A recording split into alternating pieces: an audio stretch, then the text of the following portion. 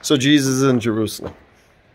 And all the teachers of the law and the Pharisees and the Sadducees and the religious leaders are all trying to stump Jesus. And Jesus is not having any of it. And then, I don't know, this is a week of Jesus just getting like, ah, I'm done with this stupidity. He turns over the tables in the temple, he curses a fig tree, and then he turns on the religious leaders. And he starts, so the scripture says, and calls it the seven uh, seven woes. Woe unto you, O teachers of the law. And he begins to tear them apart. Now, you wonder where I'm standing. Um, right now, I am standing in a church. You wouldn't believe it if you take a look from the outside. You can see that at one point, this was a church where people came to worship. And from the outside, um, from one perspective, it, it looks okay. But inside, it's falling apart.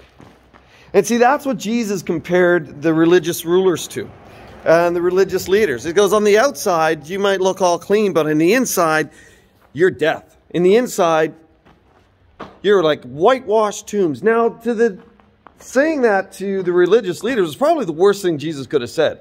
He's basically saying, you are unclean. You are death. You are ceremonially, ceremonially unclean, so you are unable to come into the presence of God. That's what he was saying. He said, you're trying to teach people this is what its uh, life is supposed to be like, and yet you won't live it. Inside, you are death, just like this church. There's nothing to this church anymore. They're storing boats in a quad in it. This was a place that was once intended for worship. This was a place that was built to honor God, and yet it got old and lost its usefulness. When Jesus went to Jerusalem, he wasn't going to talk to the unsaved. Jesus went to Jerusalem and basically brought his woes to the church.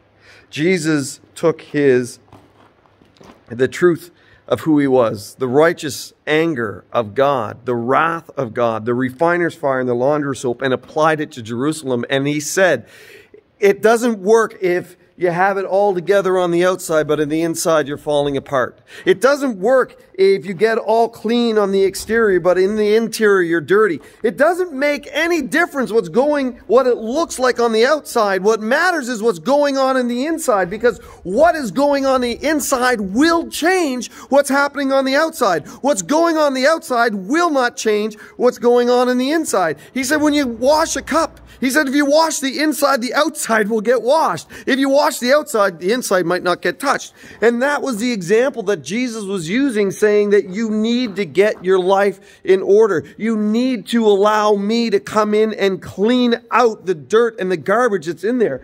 Jesus talks about taking out a heart of stone and putting in a heart of flesh. Jesus talks about repentance. Jesus talks about how the only way that we can come into a right relationship with God is if we allow Him to change us, if we allow Him to bring life where there was death.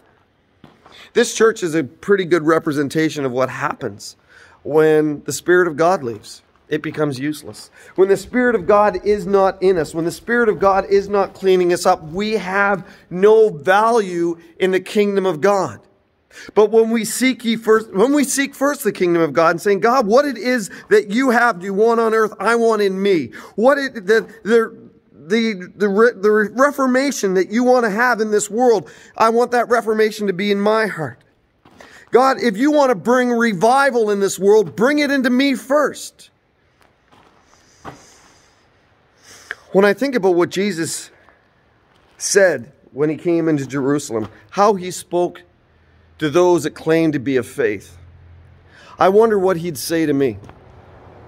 Now, I would hope that he would come and he would speak to me and he would say, you know what? You have your heart in the right place, but we need to do some work. I hope he wouldn't call me a hypocrite. I look at churches like this and they're all over the place. Churches are closing all over our nation, all over North America. People are leaving the church in droves. But the only place for real healing, the only place for real community, the only place for real growth is in the community of Christ. in relationship with Christ, in relationship with each other. We need each other, but we need, number one, in our lives to allow Jesus Christ to come in, clean it out, and bring new life. Meandering thoughts. Maybe I'm all over the map today, but hope that's been encouragement to you. God bless.